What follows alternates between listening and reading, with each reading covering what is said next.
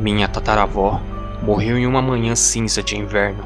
Havia algum tempo que ela vinha reclamando de dores no peito, mas os médicos pouco pôde fazer para ajudá-la.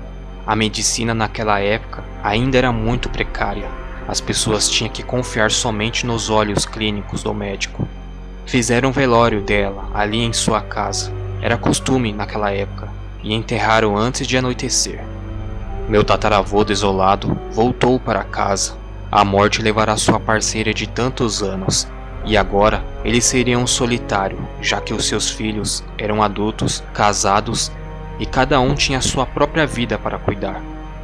Já era de noite quando ele estava na cozinha, pouco iluminada, somente por um lampião e algumas velas acesas na mesa de jantar, tentando fazer algo para comer no fogão a lenha, quando de repente ele escutou minha tataravó chorando dentro do quarto e chamando pelo seu nome. Era um choro misturado com gemido de medo, e quando ela chamava pelo seu nome, ela gritava: João, me ajuda! Ele ficou petrificado no lugar por alguns minutos, até que criou coragem, pegou o lampião e foi andando devagar até o quarto. À medida que ele ia se aproximando do quarto, o choro diminuía, e quando ele chegou lá, o choro parou completamente. Ele iluminou o quarto e estava vazio. E então ele se assustou ao ver que a cama estava bagunçada, mas ele tinha certeza que estava arrumada antes de sair para o enterro. Quando ele se virou de costas para voltar à cozinha, o choro começou de novo. Ele colocou a mão com o lampião dentro do quarto, mas pouco pôde ver algo. A primeira coisa que viu foram as pernas da minha tataravó. Estavam cinzas e se contorciam na cama. Meu tataravô teve vontade de iluminar o resto do corpo, mas o medo falou mais alto e ele saiu correndo em direção à cozinha. E a voz chorosa dizia: João, me ajuda! Foi silenciando até se calar-se. Ele saiu da casa e ficou na varanda por horas, sentado em sua cadeira e fumando seu cachimbo, muito nervoso e aterrorizado com os acontecimentos.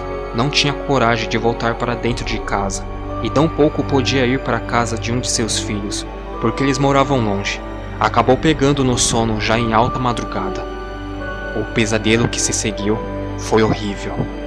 Minha tataravó estava viva dentro do caixão, arranhando a tampa, tentando cavar uma saída, enquanto suas unhas desprendiam da carne e a sua boca buscava ar que ali não existia mais. Pouco a pouco, ela foi perdendo as forças, até que seus olhos se arregalaram e seu corpo deixou de buscar por oxigênio. Ele acordou na varanda sufocando como se ele mesmo estivesse dentro do caixão.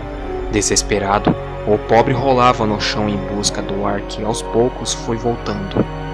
Quando estava mais calmo e controlado, ele decidiu ir até a casa de um de seus filhos. Então foi até a casa do meu tio avô Ramiro, que acalmou dizendo que era somente sonhos e que ele estava impressionado por causa da sua recente perda. Meu tataravô, não satisfeito, ele foi até a delegacia da cidade e pediu exumação do corpo, que lhe foi automaticamente negada por não haver nenhuma razão convincente, além de uma visão ou pesadelo que todos acreditavam.